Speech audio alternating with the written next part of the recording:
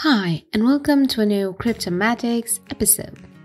In this short video, we will explain what decentralized exchanges are and how they work. We will also briefly cover some of their pros and cons. What is a decentralized exchange? In the crypto area, a DEX is a type of cryptocurrency exchange that allows users to buy and sell crypto through direct peer to peer transactions. It works in a decentralized way without relying on a central authority. A DEX shares some similarities with a centralized exchange as it allows customers to trade cryptocurrency for other assets, be it fiat money or another cryptocurrency. One major difference between the two types of exchanges is that in the case of a DEX, the third party that oversees the asset transfer and security is substituted for a distributed ledger or blockchain. Moreover, users don't need to give up custody of their funds, having control over them at all times. How does a DEX work?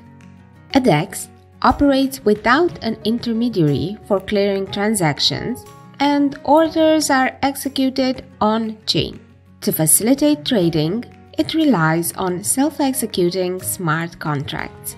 It uses different DeFi protocols and mechanisms such as order books, liquidity pools, AMMs, and aggregation tools. Based on that, we can talk about different types and generations of DEXs, including order book dexes such as DYDX and Binance Dex, and swap dexes such as Uniswap, Curve, SushiSwap, Balancer, Bancor, and Kyber. Some of their components have varying degrees of decentralization, which has led even to semi decentralized exchanges. Pros of DEXs DEXs come with several advantages as follows. They don't hold users' funds, so there is no counterparty risk. Anti money laundering, know your customer compliance, is not a norm in this case, and the user's identity is not checked since they are permissionless. All that is required is a crypto wallet. Since critical operations are moved onto a blockchain, the technology used eliminates single points of failure.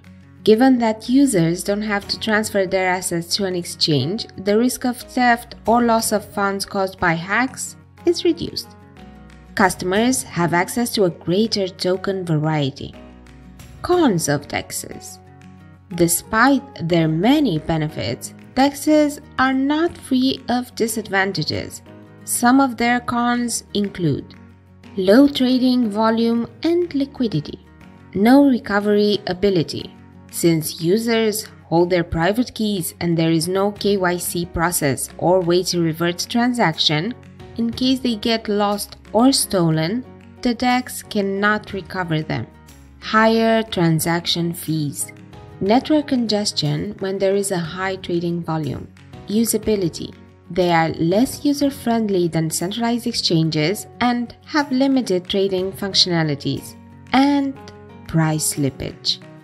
Conclusion To sum up, even though many decentralized exchanges have emerged in recent years, there is still room for improvement, and centralized exchanges are currently the preferred choice for many crypto traders.